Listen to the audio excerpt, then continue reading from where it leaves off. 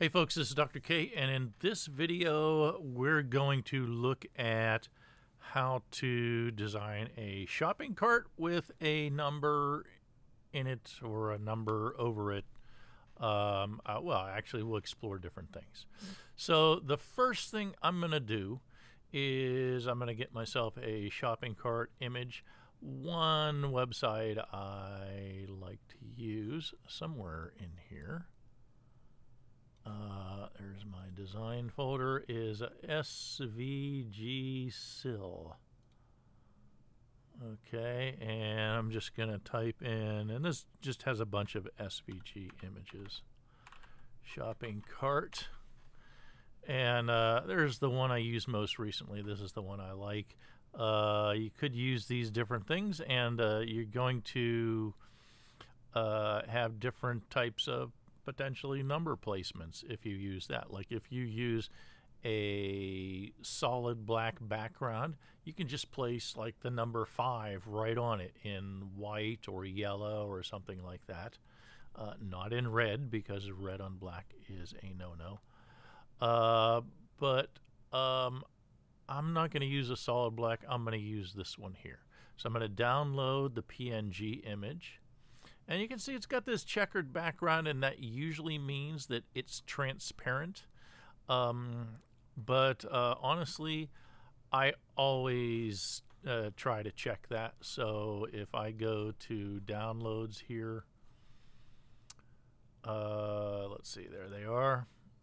Uh, here's that shopping cart. I'm going to name it something sensible like shopping dash cart. Okay. Uh, always check images you download, even if you think they're uh, transparent.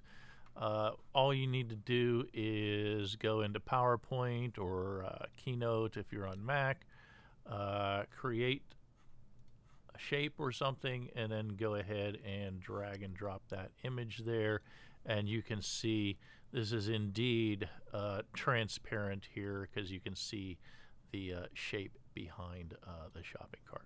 Okay, so I don't need to do anything there, but just FYI, if you do run across an image that uh, you thought had a transparent background that doesn't, you can go to a site called remove.bg and it will remove the background of that image, make that transparent uh, essentially.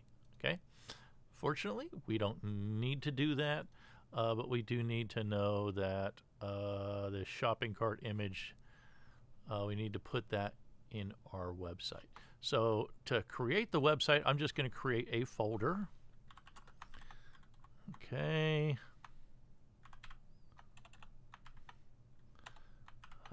Okay, come on. 50 to 44. Tutorials. Okay, so here I've got some folders already. I'm going to make a directory named shopping cart.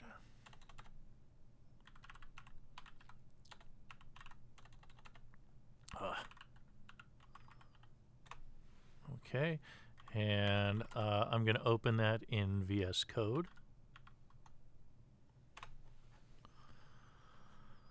Okay, so here is shopping cart opened in VS Code. I'm going to create a, before I create an index HTML file, I'm just going to create an images folder somewhere where I can put my shopping cart. Uh, so now I'm going to go to uh, the Finder, I've got my shopping cart right in there. And I'm going to open up a new window. Go to Developer, go to CS5244, Tutorials, and there's my shopping cart, and there's my Images folder. So I'm going to uh, copy this image from Downloads uh, into there. So now it's in my project. All right. So with the Visual Studio Code open, um, and now I should see that shopping cart uh, PNG if I click on it, it'll even uh, show it there. It's kind of hard to see probably on the video. Uh, but I'm going to go uh, here, my shopping cart um, project folder, and I'm going to create index.html now. All right, and I have a plugin that allows me to do shortcuts. One of the easiest shortcuts is exclamation point. We'll just create um, template for HTML page. I'm going to save that. Uh, and I'm going to hit this go live button. That's another plugin for VS Code. And it shows me what's on that HTML page, which is nothing right now. Okay. Uh, but let's get something on it. Um, so uh, I'm in my index HTML.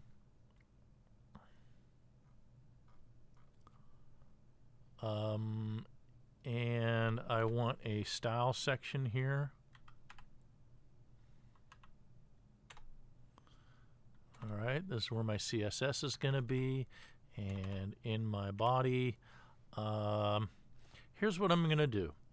I'm going to create a, a, div called cart container.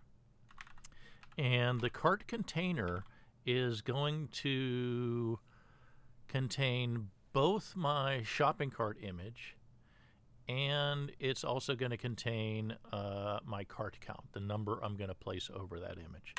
So let me uh, do that. So the first thing I want to put in here is uh, my shopping cart image. And when I put images here, I like to, you know, well, you want to put the the height and the width uh, in here inside the image tag because that's typically the way that image image tags work. Uh, my alt text is going to be shopping cart um, image. Okay. Whoops. Uh, that should have been my source. Okay, my alt text is going to be shopping cart. Okay, let me try that one more time. Um, okay, class container alt equals uh, shopping cart image. All right. Let me back all the way out up. My class is cart container. My image is, my alt is shopping cart image. Sorry about that. And I want the image and the height. Usually you want it set to whatever the image and the height is. And if I look at developer, if I look at my image here, um, shopping cart. Okay, images. Uh, I can see that it's 512 by 402. Okay, so 512 is the width, 402 is the height. So uh, here's what I'm going to do. Uh, 512 500 by 400 is too big for my shopping cart. Uh, it should be around, you know, 40 pixels or something like that. So what I'm going to do here is I'm going to make this uh, width of, uh, so the width right now is 512, so I'm going to make it 51. Okay, and you don't put pixels in here. It's pixels by default. And uh, for the height, uh, I'm going to make that, uh, it's 402, so I'm going to make it 40. Okay, I'm just dividing everything by 10, essentially, and, and rounding. All right, so I'm going to save that. And now uh, and now I cannot uh, see this. All right, so what's going on here? Um, so what's going on is uh, this should not be inside of my um, cart container.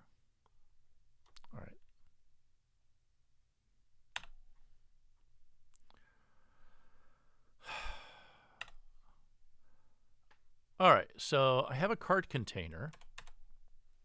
And inside my cart container, I want to put my shopping cart image. Okay.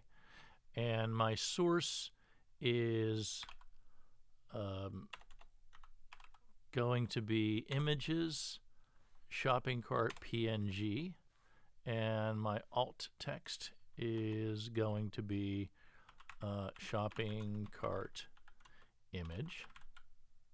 Okay. And I'm also going to have a uh, a height and width in there. And um, you want the height and width. You want to keep the aspect ratio typically of the image. So if I look at the image here, the the width is 512 and the height is 402. Okay, if I divide both these numbers by 10, I'll have something that looks reasonable. I mean, 512 by 402 would be too too large, okay? So I'm just going to divide these by 10. I'm going to get 51 pixels by 40 pixels, okay? So I want uh, a width of uh, 51 and it's 51 pixels but when you're inside the image tag, you don't, you should not put uh, px. Okay, it just uses pixels. You just put 51, and then that's 50, that means 51 pixels. So you don't include that, and then the height is 40. I'm going to save that, uh, and now. Um, still looks a still looks big, but that's okay. Well, we'll just work with a, uh, a large image here. Um, for my cart container, just so you can uh, keep track of where it is. Remember, the cart container contains the shopping cart image and it's going to contain the, the cart count. Um, so for my cart container, I'm going to say cart container uh, I'm going to put a border on this just so uh, we can see where that is. Just going to put a 3 pixel solid red border.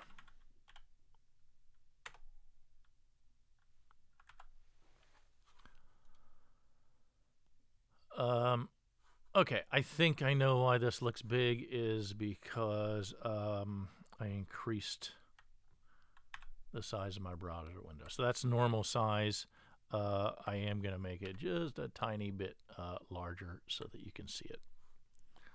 Um, okay, so uh, that looks good to me. And that's about the size of the cart I want. Uh, now, here's the thing. I'm going to make my cart contain, uh, container a little larger. Uh, just because I want a little room to be able to move the uh, the cart count, the number around.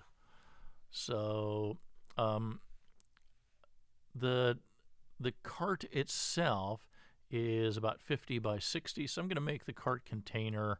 I'm going to give it a height of 60 by 50. So I'm going to get uh, 10 extra uh, pixels uh, above and beyond the uh, image. So cart container I want a width of uh, 60 pixels and I want a height of 50 pixels. Okay, so let's look at that now. All right, and it looks like we've got the uh, 10 pixel uh, buffer there. Um, and it also looks like the cart is all the way to the left and all the way to the top uh, of that cart container.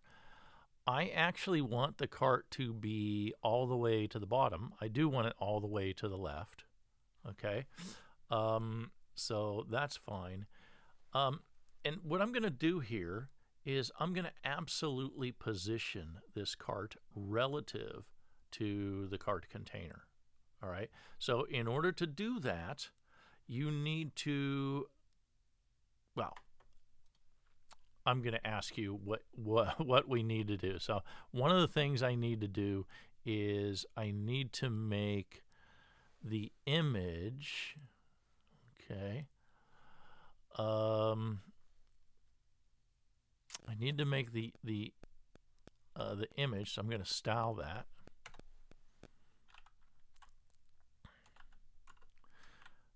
I need to say that the image is positioned absolutely. So I'm going to give that absolute positioning. I don't think that will change anything, and it did not. All right. However, um, when you make this absolutely positioned, it's absolutely positioned with respect to its uh, uh, closest positioned ancestor. And the closest positioned ancestor, that means the ancestor with a, uh, a position on it. Um, so I'm going to make this, I said I wanted uh, bottom left. So I'm going to say bottom uh, equals zero. That means align the bottom of the cart image with uh, the bottom of its uh, closest positioned ancestor. And um, it's already moved to the left, but I want to put that in explicitly. Okay? And I'm going to save that. Uh, and look what this did. This moved the cart to the bottom of the page.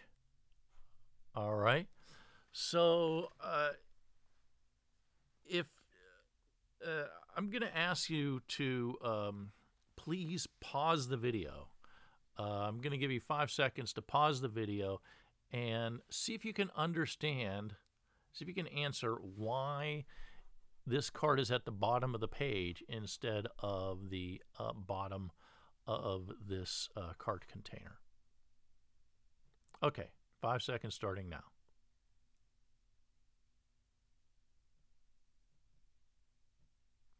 All right, so the answer is that the cart container is not positioned. It does not have a position property. All right, so what we need to do is we need to give it a position of relative. All right, and now, actually, let me get this kind of out of the way so you can see both of these. Uh, the cart is right here, and when I hit save here, because I give, give gave the cart container a position of relative, I'm hoping that this cart jumps up here to the bottom left of the uh, cart container. So here we go. We're going to hit save. And that's exactly what it did. Fantastic. Uh, very happy to see that. Um, okay, so one of the things I want to do now is I don't want this cart facing in this direction. Actually, I want to flip this vertically. And how do I flip that vertically? Well, it may or may not be intuitive, but you it's a it's a transformation, okay? And the transformation is a scaling transformation. So um, this is just the image, right? So I'm going to say transform this cart by scaling it on the x-axis because I want to flip it um, sorry I want to flip it horizontally okay and to flip it Scaling it is making it bigger or smaller typically, but there's a little trick you can use to, to flip it horizontally or vertically and just put negative one in here. Okay, so I'm going to save it and let's watch what this cart does when I save it. Look at that, flips it horizontally. Fantastic, and that's exactly what I want because I want a number here. Um, and uh, I'm going to put this number over the cart. All right, so if I need an if I'm going to put a number over the cart, I need a number. I'm going to put it in a, uh, a separate div. I'm going to put it right under the image. Okay, I'm going to put div, and I'm going to give it a class of uh, cart count. And again, this is a, a plugin. You can't write HTML this way. This is a, a plugin called Emmet, and it's just got these abbreviations. Like if you put div.cartCount, it will turn it into uh, div class equals cart count. Okay, so it's very nice actually. Um, and let's put a number in there, like uh, you know, 47 or something like that. Okay, so I got the number uh, 47 in there. Um, and I'm going to sh just show you something that I don't want you to do, okay? Uh, I want to do this cart count. I want to style this cart count.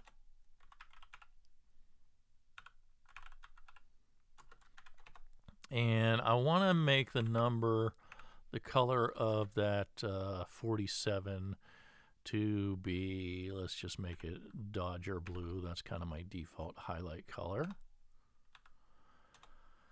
Um, and I'm going to save that. Uh, and what is wrong with this design? Other than the placement of that 47, what is wrong with this design? I'll give you five seconds to pause the video and see if you can answer that question. Suppose the 40, okay, let me make this more specific. Suppose the 47 was right on top of this cart, right where it should be, or centered right on the cart. Would that be problematic? The answer is yes, and I want you to tell me why. Five seconds starting now.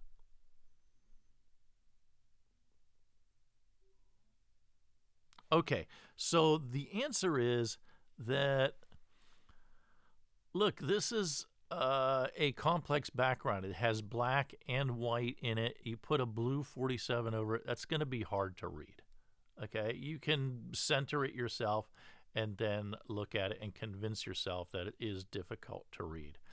But if if this was a solid black cart, okay, if it didn't have any white here and it was just filled in all the way with black, then I would say it's okay to put the number right inside the cart.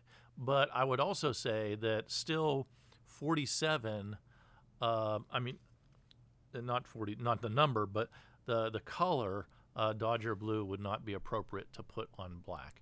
So I would say either white or yellow or um, light green or possibly or something like that uh, might be appropriate uh, to put uh, over a black background but uh, nothing's really appropriate to put over a complex uh, background. So to make this readable, what I'm going to do is I'm going to put this number 47 inside of a circle, okay? And I'm going to give the circle a solid background. Um, and that will kind of allow me to uh, play around with the placement uh, a little more. So how do I put this number in a circle? Okay, I'm inside a div. This is inside a div. So the way you uh, put that number, if it's already inside a div in a circle, is a div is a block element. You can give a width and a height to it. And I'm going to give this a width and a height that are the same. So uh, the cart is what, about 50 by 40? So let's give this a width and a height of 20.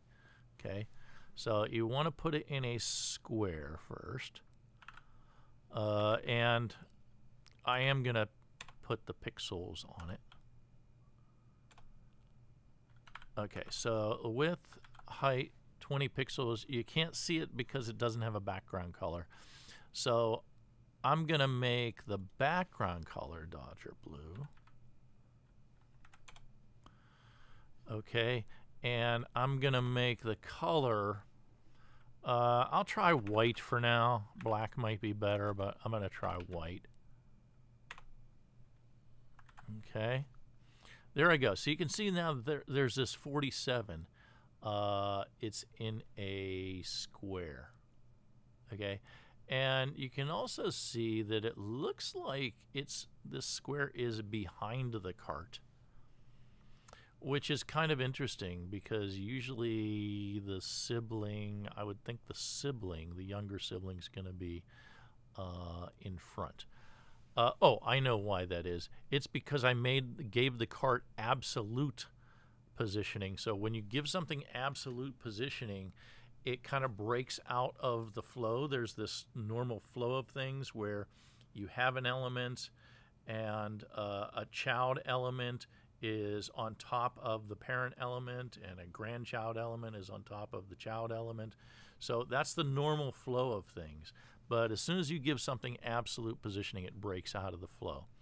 So what I want to do is I want to give this cart count absolute positioning also.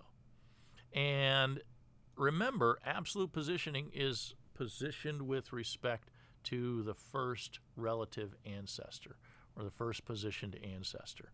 So uh, we already made sure that the cart container uh, had uh, relative positioning. So if I just go ahead and make this cart count, give it a position of absolute, okay, it should go over the cart. And that's because I gave it a position of absolute, so that's also breaking out of the normal flow. But because it's positioned after the cart is positioned, it should be on top of the cart. That's what I would think. Let's try it. Yeah, now it comes on top of the cart. Okay, fantastic.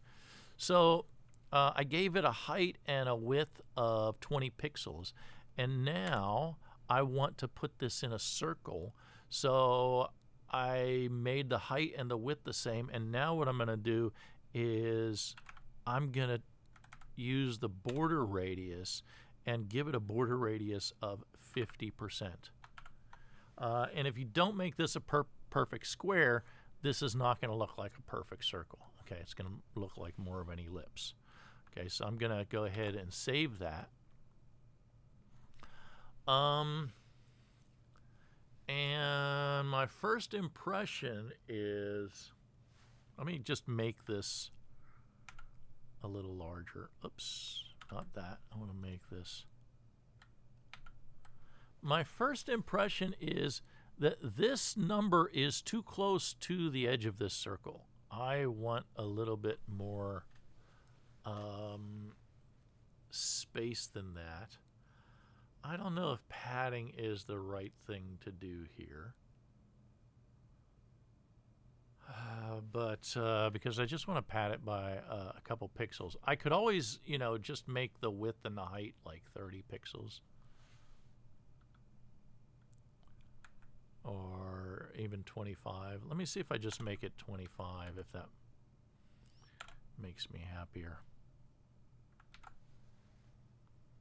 Okay, actually, that does uh, make me happier. That's uh, I don't want it. I don't think any bigger than 25 pixels. So I'm pretty happy with that. Uh, it's still a circle, but then this 47 you can see is like at the top uh, left. Um, I want it to be centered both vertically and horizontally. So I'm gonna say I'm not going to use position absolute because this is the same element. This is text inside of one div. Okay, so I just want to align the text. Uh, I want to center align the text. So I'm going to say align. Uh, no, I'm going to say, sorry, it's text align. Always forget that. Text align center. Okay, and that kind of aligned it uh, in the center. It looks to me like it's closer to the end than it is the beginning, but I think I'm going to live with that for now. Um, and now I want to vertically uh, center the text. Um, there is an align.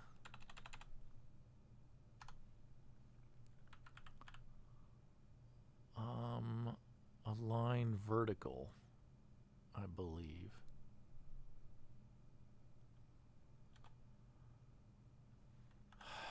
Let's see if it, this works.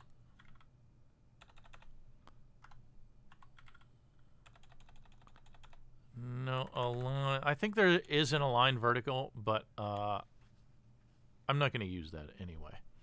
Um, uh, I'm going to do something else which uh, I've had pretty good success for uh, with, um, and that is because this div is 20 pixels high, or 25 pixels high, excuse me, I'm going to make the line uh, separation 25 pixels high also. And that usually centers the text uh, vertically uh, nicely. So I'm going to text align center. That looks okay. Doesn't look great.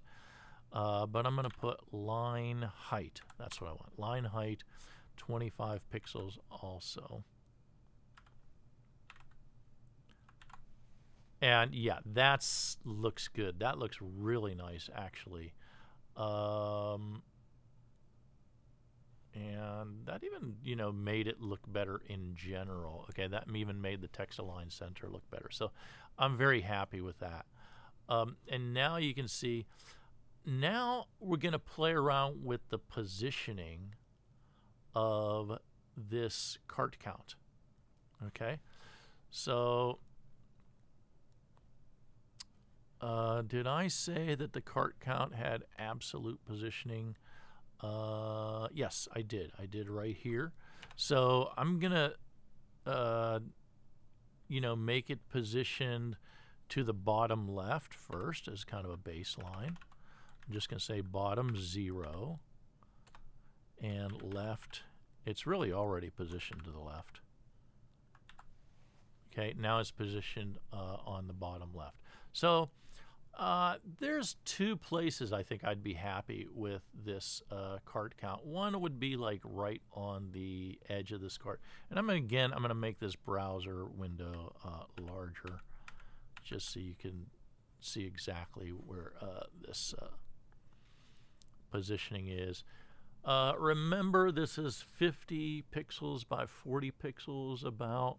So let's move this maybe up 20 pixels and over 40 pixels to get it right about here. Okay, I, and then this is just, I'm just guessing. See, So from the bottom, I want to move it up 20 pixels. And from the left, I want to move it uh, 40 pixels. Let's see where that gets us. Okay, so it gets us something close, and if I actually, if I take this, uh, sorry, if I take this uh, red border off, I think that's going to look pretty close uh, to where I want. I'm going to comment out this red border. Yeah, that's pretty good. Some people might think that this looks uh, a little bit large and they might want to bring that font down to 16. Um, I think it's 20, it might already be 16. Um, but I like, you know, you definitely want a readable font size. You don't want to make this uh, font too small. So I'm pretty happy with that. I'm going to say that is uh, a nice cart. Uh, just for the heck of it, I'm going to move this uh, 47 to the left a little bit. So instead of making it um, 40 pixels from the left, let's see where it ends up when I make it 20 pixels from the left. Uh, and that looks nice too. Actually, I, I really like that because it kind of looks like it's halfway in and halfway outside of the cart.